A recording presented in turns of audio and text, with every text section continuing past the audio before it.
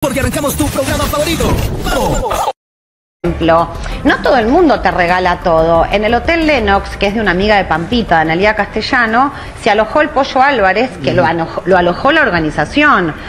Pero no por canje, tenían que pagar. Lo retuvieron al pollo, no lo dejaban ir, porque esta gente no aparecía y no pagaba. Es una grasada, primero por el pollo y el mal momento que te retengan en un Exacto. lobby de un hotel porque la organización no pagó tu cuarto. O sea que, Yani, eh, eh, es, ver- es verdad lo que contás, pero eh, el Sí. arreglo, aparentemente, según me contaban, eh, me contaban, bueno, los últimos días, el último día que estuve en Estados Unidos, es que la dueña, que vos la debes conocer también, calculo, Analía.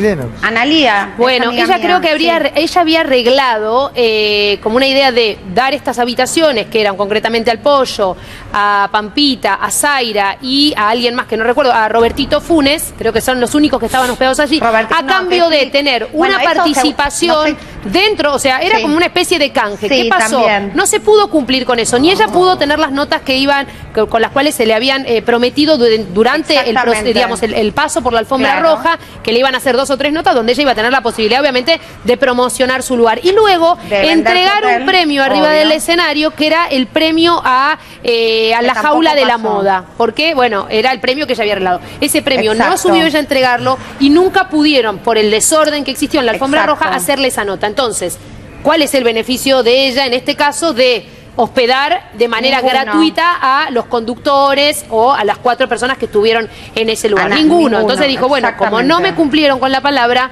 quiero que me paguen. Fue así exactamente como, como se dieron las cosas. Por eso el pollo, evidentemente, bueno, cuando se va dice, pará, Marian, que con paguen. todos los-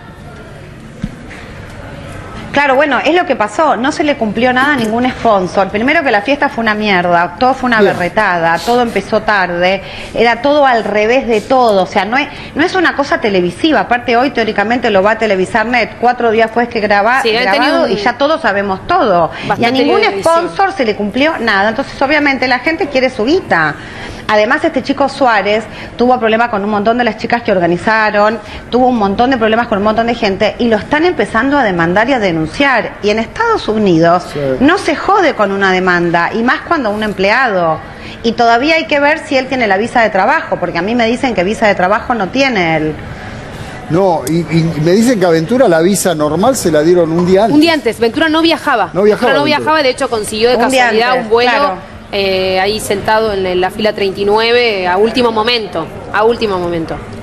Pero, es- pero eh, muy Y te hago una pregunta, vos que estuviste con Ventura, Ven- Van- o sea, fuera de la marginalidad, Ventura no puede haber hecho nada porque si vos vas con visa de turista no puedes ni participar del evento más que como invitado y estar sentado en una butaca.